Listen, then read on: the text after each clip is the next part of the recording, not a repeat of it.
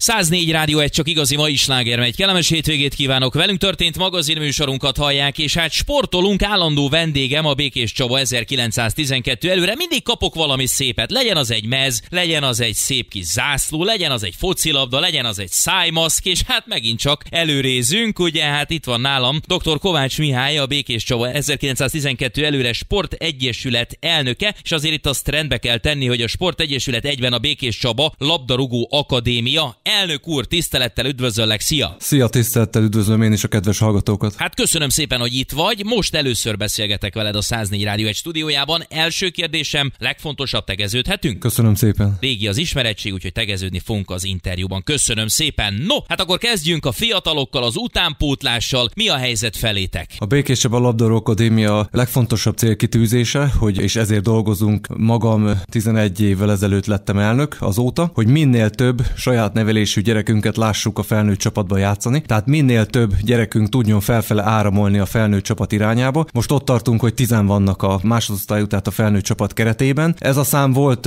egy picit több is, korábban sajnos sokkal kevesebb, tehát ez, ez egy most már ez egy nagyon jó erős szám. Az a cél, hogy legalább a fele az saját gyerekünk legyen. Egyrészt azért, hogy legyen nekik egy cél, legyen egy perspektíva, hogy miért jó Békés Csabán utánpótlás játékosnak lenni. Azért, mert itt biztosítva van a felfele áramlás, itt felnőtt labdarúgókká tudnak válni válni, illetve ugye szurkolóként is sokkal jobb a saját nevelésű gyerekeinket nézni, akinek van mindig egy rokon, egy ismerős, stb. Tehát, hogy a szurkolók is nagyobb szeretettel és nagyobb odafigyeléssel és több, tehát nagyobb létszámban jönnek ki a felnőtt csapat mérkőzésre ez a tapasztalat. Szóval nekünk ez a célkitűzés, ez a minőségi, hogy menjen fölfele minél több gyerek a felnőtt csapat irányába. Ugyanakkor van egy másodlagos is, hogy minél több csabai gyereknek biztosítsuk azt a lehetőséget, illetve Békés Csaba és környéki, teszem hozzá, mert a egész megy megyébe, sőt régiós szinten igyekszünk a gyerekeket ide vonzani, biztosítsuk a napi szintű sportolás lehetőségét, tehát van egyfajta mennyiségi célkitűzésünk is, és amiről beszéltél az elején, hogy ezért van ez a sokak számára furcsa kettőség, hogy a Békéscsaba Labdarúgó Akadémia áll egyrészt a Békéscsaba 1912 előréből, valamint a Békéscsaba UFC-ből. Ez azért van, hogy így a minden korosztályban igyekszünk két csapatot indítani, egyet az ESE, egyet az UFC. Tehetségesebbeink vannak az esébe, a kevésbé az UFC-be, de pont ez a lényeg, hogy, hogy legyen meg a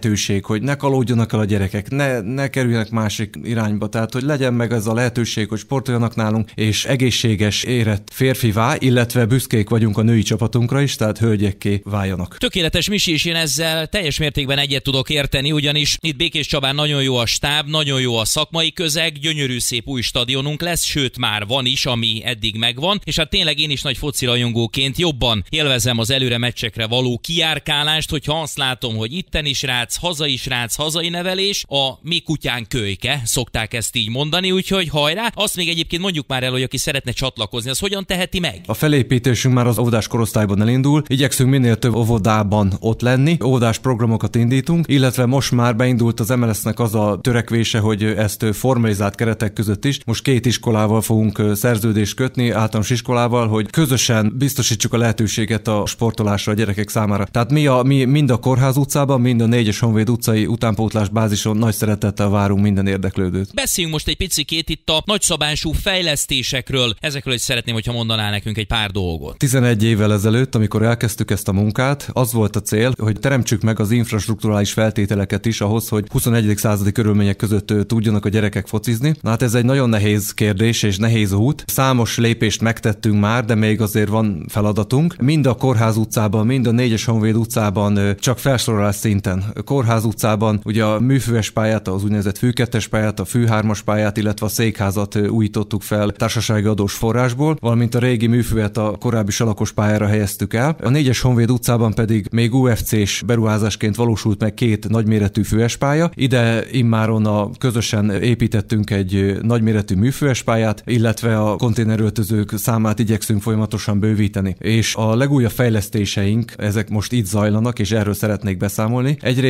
egy nagyméretű füves pályát valósítunk itt meg, szintén ez mind társasági adós forrásból. Most ott tartunk, hogy már zöldel a fű, tavasszal szeretnénk ezt átadni a gyerekek számára, illetve a, van egy kisméretű műfüves pálya, telepítésünk vagy építésünk, ez is, tehát maga a pálya kész van már, már rá tudnak menni a gyerekeink edzeni, még a külső háló, labdafogó hálóval van némi munkálati szükséglet, de ezek is hamarosan még októberben meg lesznek, tehát azt a célt, amit évelején kitűztünk, hogy ez a pálya legyen meg, mire jön a télvíz ideje, hogy a műfős pályára tudjanak a gyerekek menni, ez megvalósulni látszik, tehát lesz újabb felület ahhoz, hogy a rosszabb időjárási körülmények között is tudjunk edzeni. És a, hát a nagy álmunk, hogyha kapcsolódhatok ehhez a kérdéskörhöz még, hogy itt a négyes Honvéd utcán szeretnénk egy fedeles műfős pályát megvalósítani. Ugye van egy alja, az egy rendes műfős pálya, egy közepes méretű, valamint ugye ezt szeretnénk befedni. Ez egy óriási munka, ez most ott tart, hogy egyrészt az MLS-hez beadtuk a sportágfejlesztési program elképzelést, ez van most jóváhagyás alatt, de itt területtel kapcsolatos területrendezési, szabályozottsági kérdések is vannak, amiben számítunk az önkormányzat segítségére, tehát ott is folyamatban van ez a előkészület ennek a munkálatoknak, és hogyha ez mind-mind megvan, tehát az összes adminisztrációs pályázattechnikai feltételt biztosítjuk, akkor utána jön a forrásgyűjtésnek a nagyon nehéz szakasza, mert ezt össze is kell szedni majd ezt a pénzt társasági adós forrásból, úgy, hogy mi ugye a működéshez is társasági adót gyűjtünk össze, tehát elsősorban a működéshez szükséges társasági adót szedjük be minden évben, majd hogyha ezen felül sikerül még, akkor abból tudunk fejlesztést megvalósítani. Tehát ezeket a mi által megvalósított fejlesztéseinket így kell értelmezni, hogy rengeteg munka áll az mögött, hogy ennyi pályát, ennyi felületet tudtunk a gyerekeink számára biztosítani. A működéssel kapcsolatban közel 70 embernek adunk munkát, részmunkaidőbe, jó részt természetesen, de akkor is 70 embernek a béréről kell gondoskodni, hiszen annyi csapatunk van már, közel 500 gyerek, ahogy beszéltük, lánycsapataink is vannak, illetve korosztályonként két csapatunk, tehát igyekszünk ezt biztosítani első körben, és ezen túlmenően, vagy ezután tudunk csak a fejlesztésekkel foglalkozni. Tehát én nagyon büszke vagyok arra, hogy ezt az elmúlt években ezeket a fejlesztéseket is meg tudtuk valósítani, és azon vagyunk, hogy persze menjünk tovább, mert a négyes honvédra majd hosszabb távon kell egy kőépület, ott a körletet is rendbe kell tenni, de én úgy gondolkodok mindig, hogy először legyen meg a felület, legyen hol a gyerekeknek hol játszani, és akkor utána tudjuk a többi fejlesztést is megvalósítani. A fejlesztésekhez még annyit, hogy a Kórház utcában a, ugye a felnőtt csapat kiköltözött a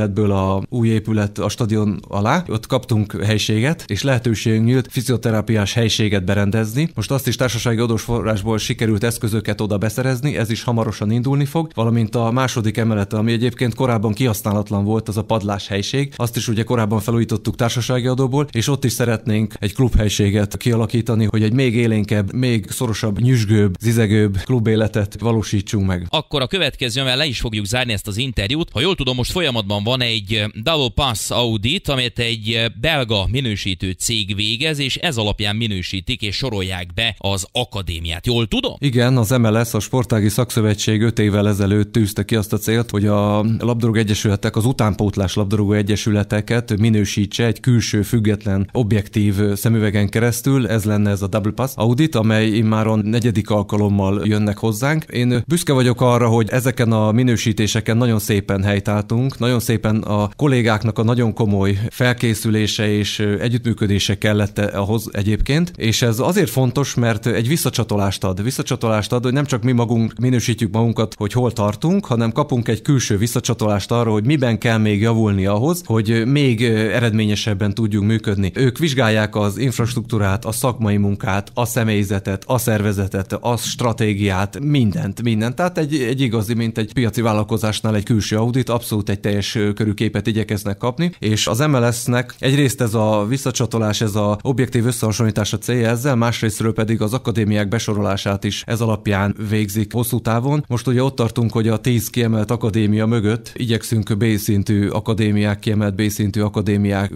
válni vagy lenni, és ehhez történik meg most ez az audit. Ugye ennek az a jelentősége, hogy akkor ebbe a régióba mi leszünk az első számú, vagy vagyunk is, és leszünk is az első számú akadémia, amelyik tudja begyűjteni a, ide a tehetségeket, és hogy csatoljak egy kicsit a szakmai munkát, ehhez az a jó egy akadémiának, ahogy a minőséget tudja fölfel áramoltatni a felnőtt csapat irányába, hogy minél magasabb színvonalú bajnokságban játszanak a gyerekei. Most a idei bajnokságban az U19, 17 és 16, tehát a három nagy, vagy hát idősebb csapatunk vonatkozásában újfajta besorolás van. Van 12 csapat az első osztályban, 12 a másodosztályban, és az őszi eredmények alapján ebből fognak képezni 3x8 csapatot. Tehát mi most a másodosztályból, ha az első négybe végzünk, akkor bekerülünk a középső nyolcba, ahonnan lehetőség nyílik, ha ott is az első négybe leszünk, akkor jövő őszre az első osztályba kerülni. Tehát az a szerencsés helyzet van, hogy az U19, az U17 és az U16 a saját eredményétől függően följebb kerülhet az első osztályba. Ez egy óriási motiváció a srácoknak és az edzőknek egyaránt. Én azt látom, hogy mind a három csapat oda is tette magát most az ősszel, ahogy kell, és mind a három ott van egyébként a negyedik hely környékén, tehát nagyon szoros befutót várok még így az ősszel, és nagyon remélem, hogy a háromból szempontjából minél több csapatunk föl tud jutni ebbe a középső nyolcba, hogy tavasszal tudjon a első osztályba való felkerülésért küzdeni. Az U15 és 14 pedig másodosztályban játszik, itt egyértelmű a cél az első hely, és akkor a, ugye itt folyamatosan mindig változik a lebonyolítási rendszer, de cél az, hogy ha van rájátszás, ha nincs, akkor is első osztályba kerülni, mert ezzel tudjuk motiválni, itt tartani a gyerekeinket, mert sajnos iszonyat erős az elszívó hatás, és már 14-13 éves korban sajnos a különböző akadémiák feltűnnek, és próbálják csábítani a gyerekeinket. Mi erre egy módon tudunk válaszolni, hogy olyan magas színvonalú szakmai munkát folytatunk itt, hogy ne érje meg nekik elmenni innen, és lássák azt a szülők és a gyerekek egyaránt, hogy igenis Békés Csabán is van esély arra, hogy felnőtt labdarúgókká váljanak. Tökéletes, Misi legyen ez a végszó. Nagyon-nagyon szépen köszönöm, hogy vendégem voltál itt a 104 Rádió egy velünk történt magazinjában. Jó munkát, eredményes munkát nektek, további szép sikereket és jó egészséget. Köszönöm szépen, hogy itt lettem. Ez a velünk történt a 104 Rádió egyen. Maradjanak, hamarosan folytatjuk hallgatók. Legyenek hamaros